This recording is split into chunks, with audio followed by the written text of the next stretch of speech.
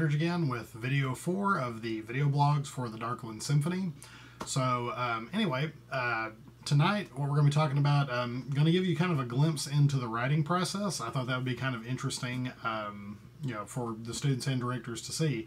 Um, progress where I am on the symphony right now, um, I have finished the first draft of movements one and two of the suite, which are movements two and three of the symphony. And I am currently working on the last movement of the suite, fourth movement of the symphony, which is called the Queen's Masque. Um, it was called Dance of the Queen, but that's changed. Um, so um, anyway, I earlier today I finished doing the sketch. I mentioned in one of my previous video blogs that what I do first is kind of roughly sketch out the piece, make sure I've got the form like I want it, and then I go back and start orchestrating it. So um, last time we saw what it was like when um, you know the sketch versus the finished product. So what I thought we would do today is, um, and again, something I've never done, so um, it's a little bit revealing, but you know that's what we're here. That's why we're learning, um, because some of you may choose to become uh, composers, and this might you know help inspire you or at least inform some of what you do. Um, again, I do want to give a caveat that the way I do things is not necessarily the way every composer does things. Um, everybody should develop their own style and set of tools, but still, you might find a few of the things that I do helpful or interesting, and, and that's what I hope is the case. So what we're going to do now is um, I'm actually going to screen cap myself working on the piece, and I'm going to narrate while I'm doing that, kind of just my thoughts out loud, what I'm thinking while I'm doing some of this. I'm not going to do the whole piece because, I mean, that would take hours, but um, I'm going to take just like a small section and show you kind of what I do to do that. Um, to give you some information on the process I kind of use, I mean, the first thing is uh, the software I use is Finale. Um, I realize, you know, some directors and students out there might be using Sibelius, which is perfectly fine. I mean, Sibelius is a great program. Um, I've just used Finale since the mid 90s, and so I'm very familiar with it, and it's what I'm comfortable with. Um, any i mean either of the programs is good. And, and, i think you know a lot of directors and composers will argue over which is better which is just a stupid argument. It's like arguing over your favorite hammer. Hammers whichever one works best for you that's what you should use. Um, but anyway um, so I, uh, we're gonna, i'm going to be showing you finale. Um, some of the things i do i have um, done what is called hot keying which is where i program keys into my uh, you know keyboard so that uh, the process is a lot faster um, if you ever have questions about that, directors, um, please just email me. I mean, I you know I'm pretty busy, but uh, I do try to take time to get back with people. Might be a couple days later to three or four days later, depending on how busy my schedule is. But I do always try to get back and help answer questions. Um, the other thing I want to say about my process is what I do is I try to um, split a piece down into smaller, manageable sections. Uh, much the way that a lot of uh, band directors uh, rehearse their bands. Like they won't rehearse the whole piece all at once. Um, at least not all the time. You know, they might start with that, kind of like I did. You know, I start with sketching out the whole piece, but then I break it down into sections and really focus on those sections. Um, one of the reasons I do that is it's just kind of an excellence thing with me that I've learned throughout the years, not just with composing, but with preparing musical performances, um, working on a piece of art, um, cleaning my house. I mean, just it's kind of this philosophy of excellence is that just keep in mind that any big job, any big project is nothing but a bunch of small projects put together. That's all it is. And it's, I know that may seem like a, you know, kind of simplistic thing to say, but it is really, I've found it at least to be really um, inspiring and encouraging um, for when I start on a project because it's really easy to get overwhelmed. Um, just, I mean, just give you an idea, like right now, the, um, the, uh, movement that I'm working on is um, 147 measures. I probably will not be that long when it's done because there are some sections that are going to repeat, and right now I've got them written out twice uh, just because I'm kind of playing around with them a little bit to see what I want to do is like second time only. But so there's 147 measures right now with, let's see here, 1, 2, 3, 4, 5, 6, 7, 8, 9, 10, 11, 12, 13, 14, 15, 16, 17 uh, staves. So if you think about that, um, it's not even 147 measures. What I'm really having to um, make deci decisions for is, let's see, 147 times 17. Um, I'm actually having to make decisions for 2,499 measures. Um, that's a big number. That's a lot of measures for one person to write. But, um, you know, a lot of the things are repeated, um, even within staves, which, you know, working with a notation program makes easier. And also, like I said, I don't think of the whole piece at once um, after I get past that sketch. I break it down to small sections and I just work on those and focus on making those good, then move on to the next. And then when I've got the whole piece done, I go back and, and you know go through the whole thing and make sure that it's all tied together and cohesive um, and working like it should. So that's the method that I use. Um, so we'll see a little bit of that now. Um, I'm going to orchestrate the um, the just um, the introduction, and depending on how fast that goes, maybe the first strain as well. Um, you know, so you can just kind of see what my process for taking a basic idea and pulling it out into orchestration will be. Um, again, I'm just going to be narrating my thoughts as they occur to me. So if I sound like an idiot talking to myself, perhaps I am. But um, at any rate, these are the thoughts that are occurring to me as I'm, uh, you know, orchestrating this piece. So I hope you find it informative. So let's see how we write a piece. All right, so here we have the um, sketch of the next movement, the Queen's Masque. Um, you know, again, uh, movement four of the symphony, movement three of the suite. And um, you can see that the score looks very, very bare. Well, that's going to be changing really quickly. Now, again, like I said, I tend to focus on small sections at a time. So what I'm really going to focus on now is this section over here from measures, uh, if you can see the little cursor, measures 1 to 8 um, so we're just going to, you know, really focus in on those measures and bring them to life a little bit. Um, now I will say that these first eight measures are going to be pretty spare because this um, particular movement starts, uh, you know, pretty sparse and then gets fuller and fuller. Um, so this won't take super, super long. Um, so what we've got now so far in the first eight measures, my sketch is just this kind of waltz feel. Let's listen to that.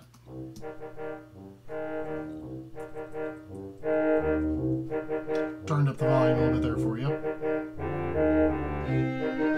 So that's the section we're going to be bringing to life right now. This section right here. So not you know not a whole lot of uh, lot there right now.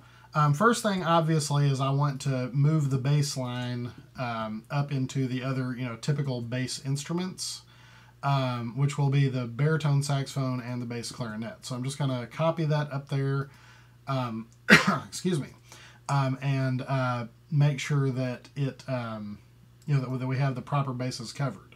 Um, so we've got that so far.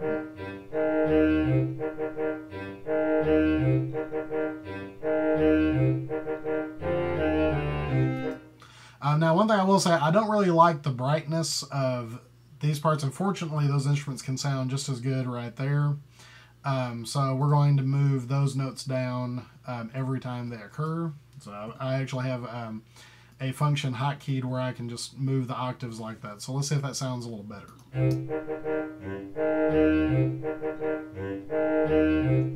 Yep, I definitely like that better. I like the deepness on that second beat as opposed to you know um, sounding so bright.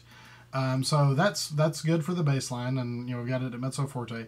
Uh, now down here I've got the trombones um, and euphoniums uh, kind of split right now. You know, I put in two notes at a time just because it's easier so I can get everything in like I want it. Um, but I actually don't need this on both lines because we have a trombone line and then a euphonium bassoon trombone two line. So I'm going to, um, excuse me, wrong tool. I'm going to um, use this to uh, explode the music outwards, which means I'm going to separate these out a little bit. Um, so we're going to do that, and that's a very useful tool in Finale. One thing you'll notice, however, is that I really shouldn't have slurs here because we're staying on the same pitch, so I'm going to erase those slurs really quick and just put in some tenuto markings to make sure that we are um, giving the correct articulation at all moments. Um, so we've got that split now. I'm going to put that euphonium part also in the, um, oops, I forgot to measure. Hang on just a second. Going to um, put that up in the tenor sax as well, just to give some reinforcement, um, you know, for typical instruments. Um, so now so far we have.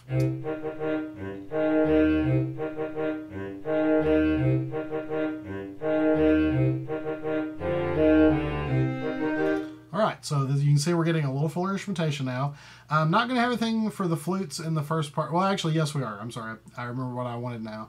Um, but uh, First, we're going to add something that I didn't have in the sketch. Um, in the French horn, we're going to add the Dies, Dies Irae theme that has been going throughout the entire symphony. That's the, excuse me.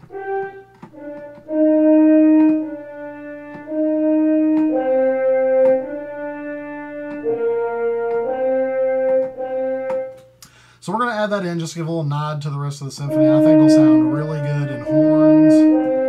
So we're to do that, and we'll put a mezzo forte on it, um, and then we're going to copy that up into the um, alto sax. Um, so now we've got... And you can hear there's a little dissonance here um, happening between the um, the D here and the E flat down lower in the um, in the concert pitch. Um, so you know, let's hear that again. See Yeah, I, I don't really mind it. I think the dissonance is fine, especially given the dark nature of this piece. So I'm going to keep that in for now. Uh, of course, I may change my mind later. Um, and now we're going to add in a flute um, trill on the last note just to give it a little sense of suspense. So adding in our flute note there, and we're going to add in our trill, uh, which actually I have a hotkey for. Um, so adding in the trill there, and we'll go ahead and put that in the oboe as well. Um, again, just to reinforce it, you know, one of my goals with this piece is to give it that um, grade two orchestration, but also, you know, still make it sound symphonic, but also make it accessible for smaller groups. So when I can double, I will. And the only reason I'm not going to double in the clarinets is because they have the melody coming up, and I want to make sure I'm spreading the colors around the score. So let's see how this sounds thus far. I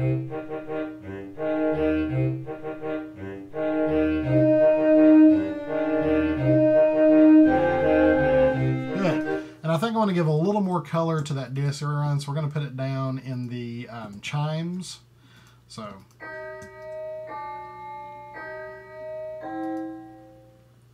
So, hmm, I wonder if I wanted that deep or maybe up an octave. Let's see here.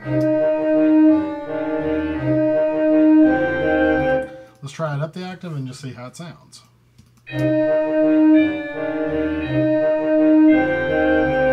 Yeah, I think I like that better. I like it, it gives a little more articulation to the um, to the overall sound. Uh, one thing I'm starting to hear too that I actually may not like uh, these notes that happen on beat three in the second part of the bass. Um, I don't know. I'm not not totally sold on those because I think they take away from the answering in the tenor voice. Um, so let me um, try it for a couple measures without it, and I can undo this in, in a second if I need to. Um, but I just want to see, you know, maybe that doesn't need to be there. And that happens sometimes. You know, sometimes my sketch, I'll go back and like, and I'll just be like, hmm, you know, that doesn't really need to be there. So let's see what this is like.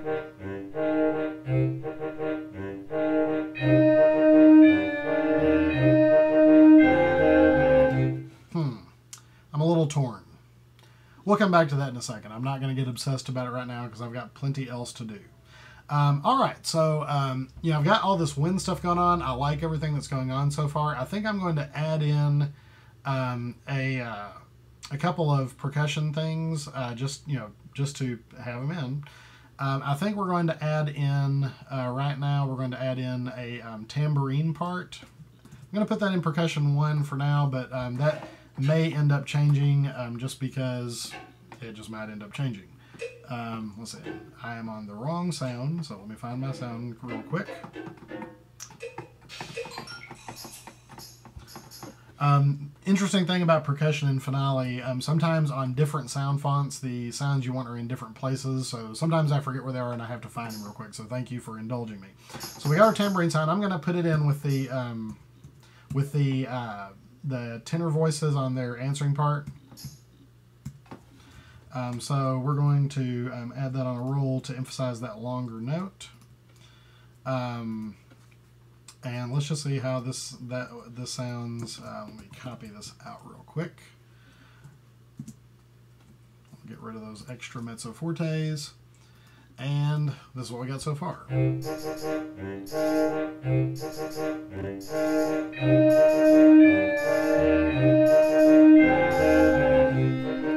I think I want to change up the tambourine part just a little bit for um, the last measure, just so we get a little bit of a difference. And we'll put some accents on it so that we get... Um, all right.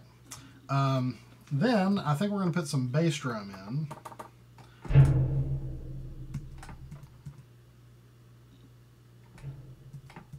And I may put that bass drum on that note that I did have in the um, in the voice, low voices originally. I liked the impact. I just didn't necessarily like the tone. It was starting to get a little on my on my nerves. So uh, so we'll see if this is any better.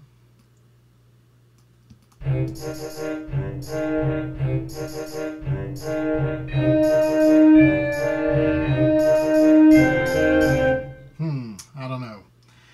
That may be just a touch too heavy for that section, so I think we're going to take that back out. And then we're just going to put rests underneath there for now. Um, although that may change later. Again, you know, this this is the first draft, um, just like those were first drafts, and I, you know, I will go back and, and see if anything needs changing up. But I'm just going to put rest there for now. I think that was just a little too heavy. I think I like just the sound of the winds uh, going on with there. Um, similarly, I don't think I really want any timpani in right yet. Um, just because I think it would be a little too heavy. I want this to sound dark but light. Um, I know that may sound like a contradiction, but I want a kind of a darker wind sound but a lightness to the attack. And I'm afraid the bass drum and timpani would just be a little too much there. So let's hear this one more time.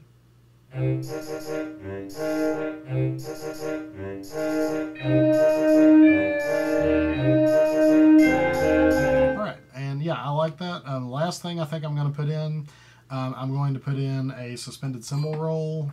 Um, let me get back to the correct spot. And, um, oops, wrong layer. And I'm going to zoom in just real quick so we can make sure this looks right. Add the roll sign. Oops, that's not the roll sign. Let me get in the articulation tool. Add the roll sign. Um, and then add in dynamic instructions as well as a um, reverb mark so that we know to let that ring. And so now we've got this. And try to make sure this is lined up and looks nice. All right, so um, this is the first section now. We've got uh, the first eight measures orchestrated. I mean, obviously there's not a lot on here yet because that first section is very simple. But um, you can see how, you know, just taking that, those simple ideas and kind of expanding on them and making sure that everything is where you want it can, can produce good results. So again, here's this first eight measures.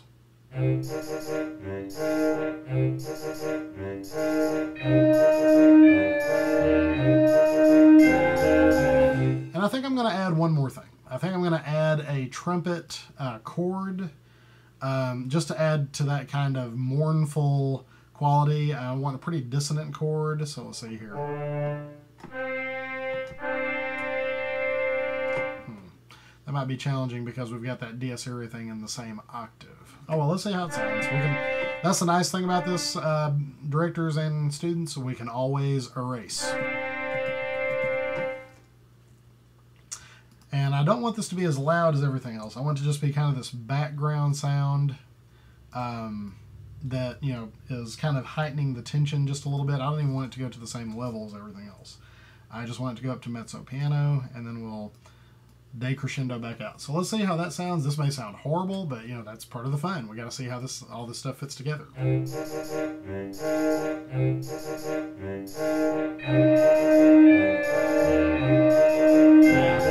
Yeah, I'm, not. I, I like the idea, but I'm not a big fan because I think that interrupts the clarity of this line. So, um, nah, we're not going to do that. So, let, now, um, last thing is I'm going to just make a few adjustments to some articulations and uh, and uh, expressions just to make sure that the score will look nice. I mean, obviously, I'm in what's called scroll view now. If we go over to page view, you know, we see things like this, and we can zoom in with that, where it'll show, show you what the score will actually look like. But I always start here, um, just so I can see the you know more of the piece and kind of get it locked in, and then later I go back and do a really thorough typesetting job. All right, well, we're going to move on to the next section, um, just the next eight measures, um, and that'll probably be the last I'll do for this video, although, I mean, obviously I've got my work cut out for me tonight and the next few days. But, you know, that's that's how, how this goes. We just take a section at a time. So the next section is a little more complete in terms of, you know, I've already um, done a bit of orchestrating here uh, when I was writing it, but, you know, it's still not complete. So I need to um, go through and really try to complete this. Um, so before I even listen, well, okay, let's go ahead and listen to it. Um, let's hear this. Oops, uh, hang on, let me fix a couple of things. There we go.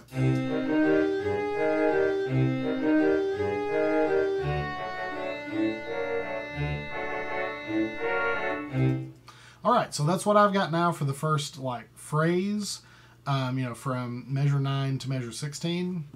Um, I can already say with uh, certainty I don't want anything in the flute or oboe, so I'm pretty much done with those lines as far as this is concerned. Um, I obviously need to have a starting um, dynamic for the clarinets who will have the melody.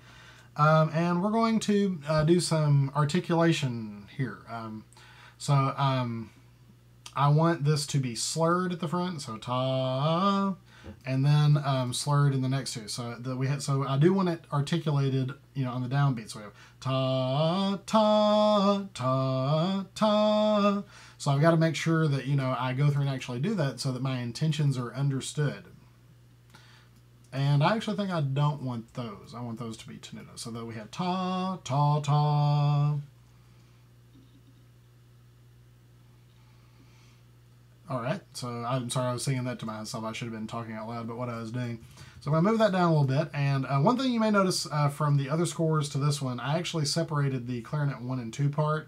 They have been together on all the other scores for this piece, but I think I'm going to be using the two groups so differently in this. I preemptively, you know, separated them. If it turns out that I'm going to combine them, um, then I'll do that later. And then that's actually a very easy process. Um, one other thing I want to change on this clarinet part, I think this release here is just a little too late. Um, so I, am going to change the release to this moment right here so that we get a little more clarity of this trumpet entrance um, so that we hear the two colors separately. You know, one thing I've found with a lot of band composers is they tend to overscore things, meaning they have too much going on at once so that you really lose the clarity of what you're intending to do. And I mean, I've certainly been guilty of that in the past before. It's one of those things you learn the more you do it. Um, so now that I've got this melody line, I want it in both clarinet parts, um, and I'm going to um, have it in the. Uh, and actually, do I want it? No, actually, I don't, because later I'm going to be crossing the break, and I want to consciously make sure that the um, the second clarinet does not cross the break since we're at the grade two level. But I am going to put it in the saxophones for, for both saxophones. Um, that actually reminds me, I need to go back here and put in um, a symbol called an a due that um, means that, you know, we have two saxophone parts, but they're both playing the same thing here. So that's the designation for that. Um, so I think I'm going to leave that second part blank because I may want them for something else here in a little bit. Um, because, I mean, I can always come back and add them in later if I have to. Um, but uh, I'm I'm going to leave them out for now. So we'll just have the altos one and two and the clarinets on the melody. Um, and then I'm going to come down here and orchestrate out my um, my tenor voices like I did before using that really nice explode tool that is very handy. And just like before, I need to come down and erase the um, the uh, slurs and put tenuto markings, so, you know, to make sure that that we're just uh, correct from a notation perspective. Um, so again, moving that up there. Uh, let's see here. Trumpets, I know that's all I'm going to want them on, so I'm just going to put that right there. Um, French horn will be coming in later. This is one of those sections that I'm going to be going back and making a first time, second time kind of thing. Um, so I'm just not, I mean, I'm going to bring in the uh, French horn and uh, maybe, and second clarinet uh, together later. Um, so you know that's that's what we we will do there. So um, this is what we've got so far.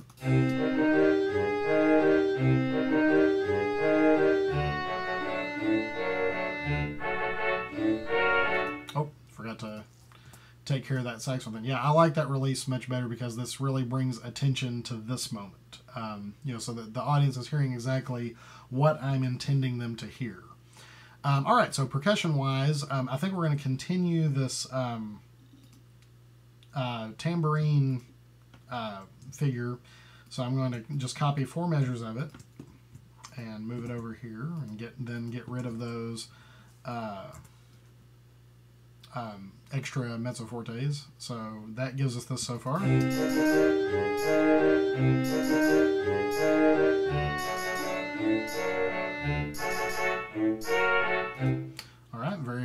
so it's sounding good so far. Um, let's see here. Um, I think I want to add a timpani thing, um, just going from a G to a D uh, at the end to give it a little more push into that next measure so that we have well the G doesn't really sound right hmm. all right maybe we'll do it with the uh, the bass drum instead since it's non-tonal um, so let me go ahead and I know I'm going to want that uh, tambourine part over here um, minus I'm going to want that so that it matches the rhythm of the trumpets and I'm going to go ahead and add in this bass drum note here uh, just to uh, add, like I said, a little extra push into that next moment.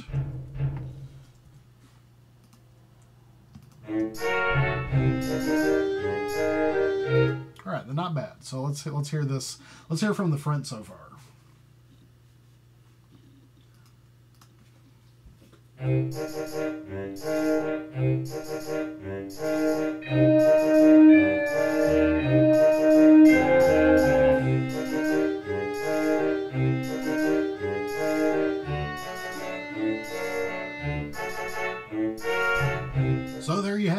Um, I know it was kind of a long video, but I mean, composing takes time. Um, so um, I hope you found it informative and helpful. Um, you know, in the comments below, uh, and, you know, on the YouTube channel, if you want to leave a comment, um, ask any questions or anything, I'll be happy to answer them when I can. Um, but anyway, so the piece is coming along really well. I, I you know, I have a plan for the ending. My goal is to finish up most of the orchestration tomorrow, Monday the the 30th, um, and then um, finish up the rest of the orchestration on that by Tuesday afternoon, um, and then spend some time Tuesday late afternoon and evening kind of going over all of the first drafts and doing, you know, kind of another analysis of them and, you know, on my own and, and uh, just seeing kind of where it is and what needs to be changed, what needs to, you know, go from there.